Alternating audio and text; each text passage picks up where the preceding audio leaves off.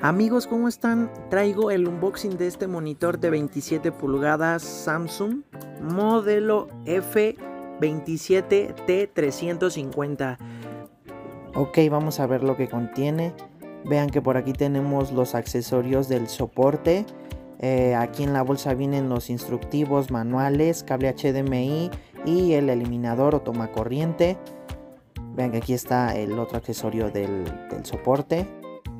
Esta base en esta forma no me gusta porque no puedes colocarle nada abajo de, pues, del monitor.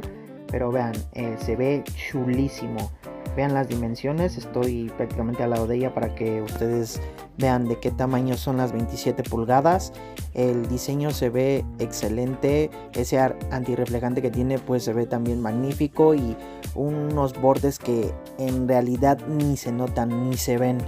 Vean, vean que viene por este lado, viene un VGA, un HDMI y el conector de la alimentación.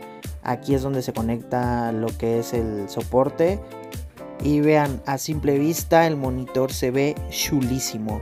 Aquí tenemos un cable HDMI que es versión 1.4 me hubiera gustado que trajera un 2.0 mínimo pero bueno para lo que se va a estar usando pues está bien aquí tenemos lo que es el conector que va a la alimentación al eliminador al cargador como lo conozcan con una entrada de 120 volts y una salida de 15 voltios a 2 amperes vean que está chiquito el cable también está largo son aproximadamente 3 metros con el otro cable también.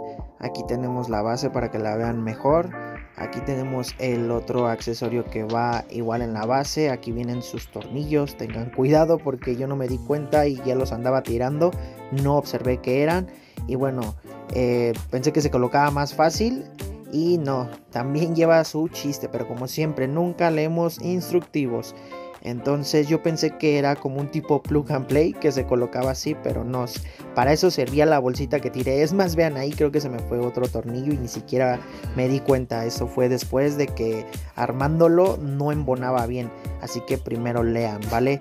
Eso se tiene que quitar antes. Igual cometí el error de meterlo, colocarlo así y no iba así, obviamente.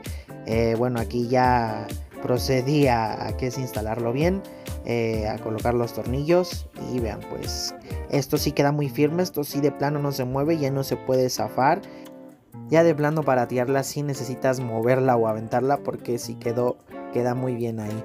Vean que ese es el botón de encendido es como un tipo joystick porque se puede mover hacia los lados y también funciona como botón. Vean que ya encendida se ve magnífico los bordes eso fue lo que me encantó tanto los bordes que casi no se ven y el color, de verdad aquí eh, el color se ve estupendo. La frecuencia de actualización de imagen, eh, no se los comenté, es a 75 Hz y se ve fluidísimo. De verdad que si ustedes están dando el salto de un monitor a 30 o 24 Hz y se pasan a este, ustedes van a notar el cambio demasiado. Yo porque lo tenía en la pantalla de atrás que es a 120 Hz, entonces pues sí lo noto obvio, pero ya me acostumbré, ¿no?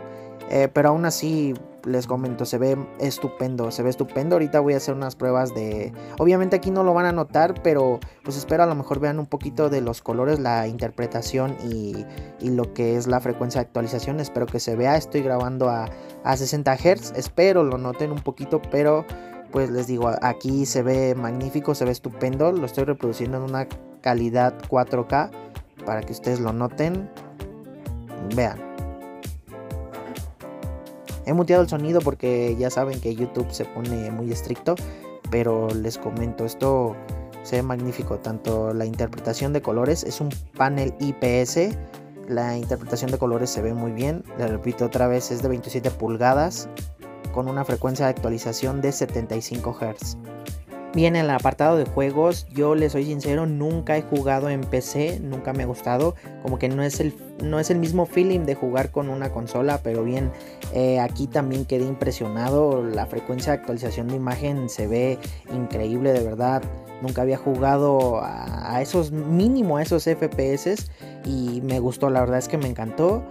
Y pues vean, vean los marcos, los bordes, o sea, esto es increíble, casi no se notan Vean, aquí estoy subiendo el brillo, pero en verdad casi no se notan. Vean qué tan delgadísimos están y qué tan bien delgada está la pantalla porque mm, igual no está muy ancha. Vean que igual está, está muy delgadita. Lo de prácticamente casi una libreta. Una libreta es su, su grosor.